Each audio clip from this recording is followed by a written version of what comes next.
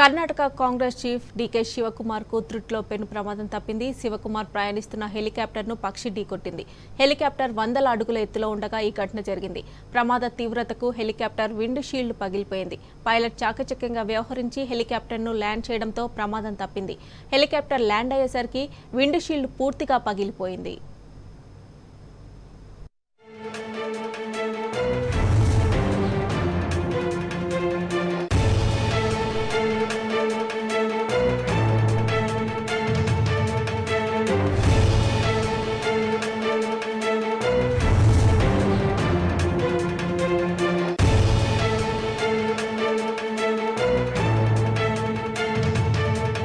We'll be right